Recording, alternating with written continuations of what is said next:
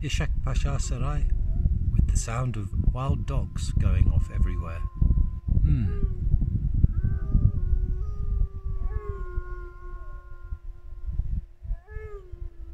These beasts are very savage up here.